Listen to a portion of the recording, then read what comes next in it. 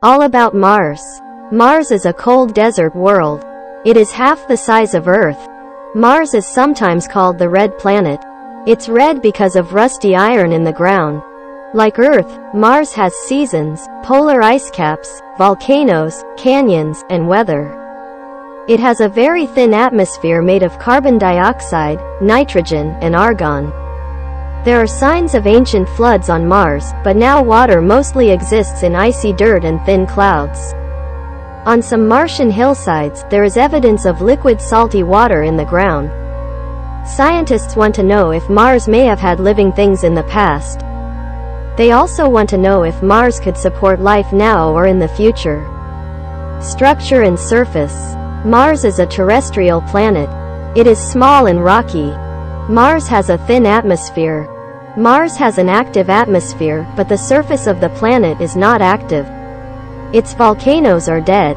Time on Mars. One day on Mars lasts 24.6 hours. It is just a little longer than a day on Earth. One year on Mars is 687 Earth days. It is almost twice as long as one year on Earth. Mars neighbors. Mars has two moons. Their names are Phobos and Deimos. Mars is the fourth planet from the Sun. That means Earth and Jupiter are Mars' neighboring planets. Quick history. Mars has been known since ancient times because it can be seen without advanced telescopes.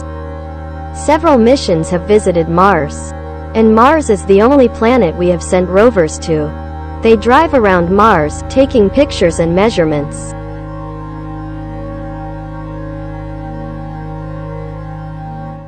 All about Venus. Even though Venus isn't the closest planet to the Sun, it is still the hottest.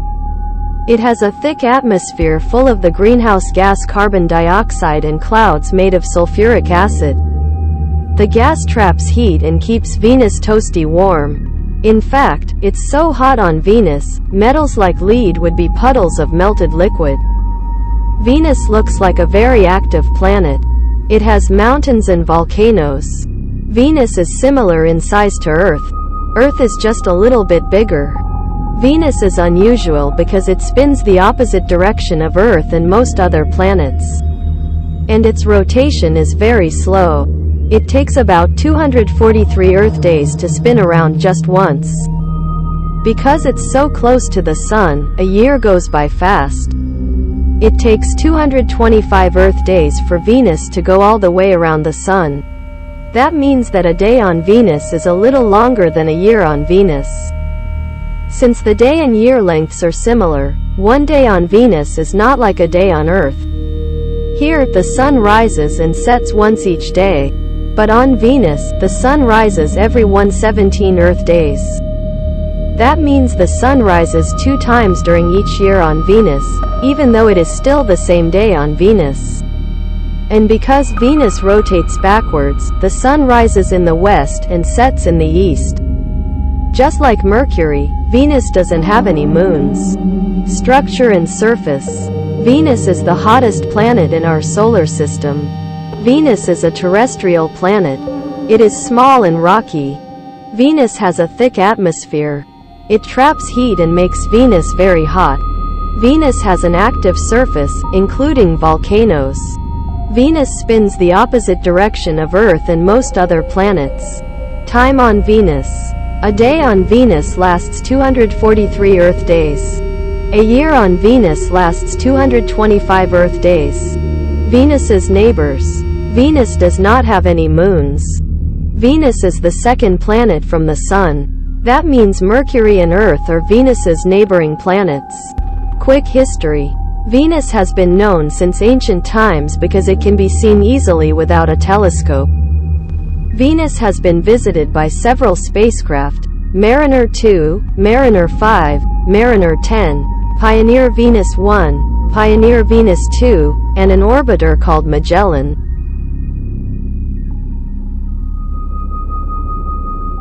All about Mercury. Mercury is the smallest planet in our solar system. It's just a little bigger than Earth's moon. It is the closest planet to the Sun, but it's actually not the hottest. Venus is hotter. Along with Venus, Earth, and Mars, Mercury is one of the rocky planets. It has a solid surface that is covered with craters. It has no atmosphere, and it doesn't have any moons. Mercury likes to keep things simple. This small planet spins around slowly compared to Earth, so one day lasts a long time. Mercury takes 59 Earth days to make one full rotation. A year on Mercury goes by fast. Because it's the closest planet to the Sun, it doesn't take very long to go all the way around. It completes one revolution around the Sun in just 88 Earth days. If you lived on Mercury, you'd have a birthday every three months. A day on Mercury is not like a day here on Earth. For us, the sun rises and sets each and every day. Because Mercury has a slow spin and short year, it takes a long time for the sun to rise and set there. Mercury only has one sunrise every 180 Earth days. Isn't that weird? Structure and surface. Mercury is the smallest planet in our solar system. Mercury is a terrestrial planet. It is small and rocky, Mercury doesn't really have an atmosphere. Time on Mercury. A day on Mercury lasts 59 Earth days. A year on Mercury lasts 88 Earth days. Mercury's neighbors. Mercury does not have any moons. Mercury is the closest planet to the Sun. Venus is Mercury's neighboring planet. Quick history. Mercury has been known since ancient times because it can be seen without advanced telescopes. Mercury has been visited by two spacecraft, Mariner 10 and MESSENGER.